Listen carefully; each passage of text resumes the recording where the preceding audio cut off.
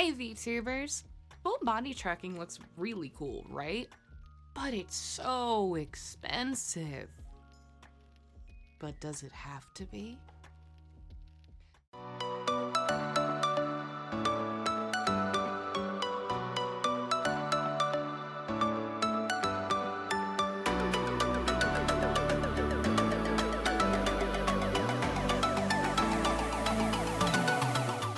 I'm Anicia, and everything you see me doing is done with a webcam and a free program. Today, we'll be talking about how to set up XR Animator for VTubing. If this video helps you out, please drop a like and a subscribe. I use XR Animator every day for my streams and content creation. Trackerless webcam mocap is an incredibly powerful tool that allows your content to be more expressive. It opens up all kinds of options, including dance and workout streams, without the high cost or clunkiness of physical trackers. In my experience, your everyday webcam may not cut it for this. This is because of FOV or the field of view. In many cameras, this will be low, 70 to 90 degrees. This will not be able to see your hands at full width nor your height when standing back, which will make for less accurate tracking and may cause tracking errors. I've tested with a Logitech C920 with 78 degree FOV, and you can see the comparison to a camera at 100 degree FOV here.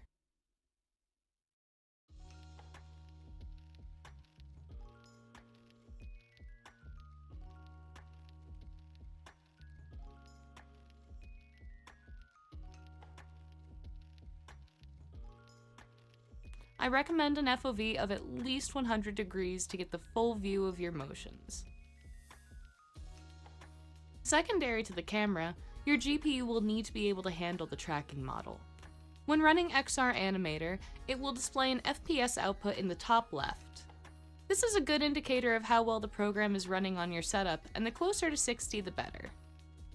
To give some examples from my experience, my previous GPU was an AMD 5700 XT Taichi overclock. While this could run XR Animator at about 45 FPS and run alongside VNyan and lower graphics games, it could not play graphically heavy games without causing my model to lag. On an AMD 7900 XTX, my current GPU, XR runs at a full 60 FPS alongside newer graphically heavy games. In other words, your mileage may vary on how smoothly XR tracks with your specific setup while running your roster of streaming programs. With that out of the way, we can get to the basics of XR Animator. If you're just downloading it now, you'll find it on the GitHub link below. Download the Windows version and extract the files to your preferred folder. There is a web version, but this will not allow you to send VMC data to other programs. I recommend that you use XR for tracking and send the data to your Redeem program and your streaming software. While you can use XR directly with your streaming software, it pairs wonderfully with programs like VNyan or Warudo while letting you use all the features of XR. When you open the program, you'll be greeted by a start screen. Here, you can drop in a VRM model, or you can use the base model built in as long as your model isn't wildly different than humanoid. After hitting start, you'll find the UI and a model. On first launch, you'll have no tracking settings on. Let's go over the buttons on your UI. Streamer mode. Once you have your settings put in, clicking this will restore all the settings from your last session. Pose motion a list of various sitting, standing, and animated poses that you can use with hotkeys. The main ones you'll be using are likely stand simple, full body, or upper body. Webcam media. This is where you can select if a camera or a media file is going to be used for motion capture. Motion capture. This lets you select how much you want tracked. There are several options depending on what you need XR for. VMC protocol lets you change the port number, turn on VMC output, send camera data to VNyan or Warudo, and has a button to turn off the 3D model. UI options. Turn on and off features of the UI, check hotkeys, and drop in backgrounds, 3D worlds, or skyboxes. these do not transfer to secondary programs. Hand camera. If you're sending camera data, this will let you control the camera with your hand and give a selfie type of view of your model. Backpack. Has some miscellaneous features from XR's previous life as a game engine. There is a media recorder here to take pics and videos directly from XR. Let's start your setup for the first time. The first thing you will do is turn on your webcam of choice. Click the webcam button, hit yes, and select your camera from the list. Be aware there are only a limited number of cameras XR can read. If you have many connected to your PC, it may not be able to view them all. You can at any time go back into the webcam menu and hit yes flip to invert your tracking direction.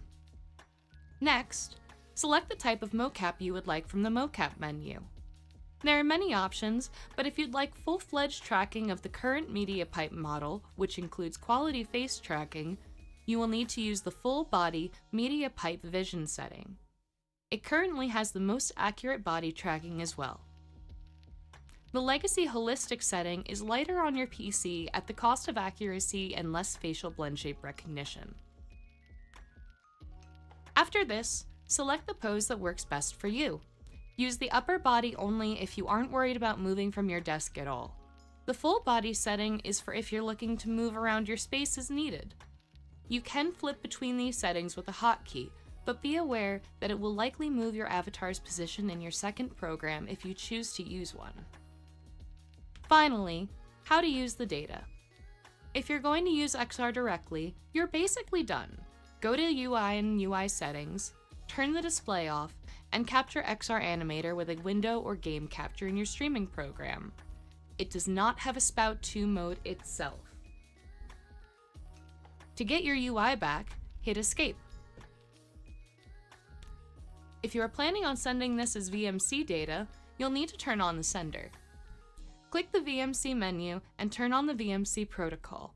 Take note of the port and match that in your secondary program, be it VSeeFace, TITS, VNyan, or Warudo. To save a little CPU, feel free to turn off the 3D model here. Let's wrap up with some tips on using XR. How much space do I need? If you're intending to use this for full body, you need space to move back and side to side in your room without occlusion of the camera. What kind of lighting should I have? My personal lighting suggestion is a cheap ring light behind your camera setup to illuminate your face and body well. Normal room light will cover the rest. What camera should I use? In my experience, what you are looking for is a high FOV and high shutter speed. While 30 FPS versus 60 FPS doesn't technically change much about the tracking, the shutter speed will affect motion blur when making quick movements. Cameras with a higher FPS will likely have a higher shutter speed. I'll drop a few suggestions below from what I use and what has appropriate specs. My tracking is seeming jumpy. This can come from several factors. A big aspect of webcam tracking is framing. You must use the debug camera window to adjust your camera framing to capture the most out of your movements. Having a clear background to track against will increase your odds of accuracy. Finally, clothing will matter. Don't wear clothes that match your background or chair or too busy of patterns as it will confuse the tracking model. I like better quality tracking and my PC specs are good. Try out the best quality model setting. Under motion capture, body options, you will find the AI model quality. Change to best and make sure your PC can handle the extra load needed. My camera is at an angle and is making XR look funny. Under motion capture, you'll find webcam angle offset correction. In this menu, you can use the up and down keys to adjust the angle correction. My model is leaning forward, this is a problem with some webcam setups, but there's a setting to fix it.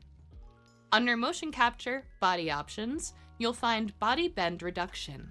Try these settings till you find a good level for you. I'd like to touch my hands together, but the model is still holding them apart. Under Motion Capture, Body Options, you will find Arm Horizontal Offset. Click this and use the plus or minus to adjust where your hands touch properly. There is so much you can do with your new full body tracking. I hope this tutorial has covered the basic setup and some of the questions you may have had about XR Animator.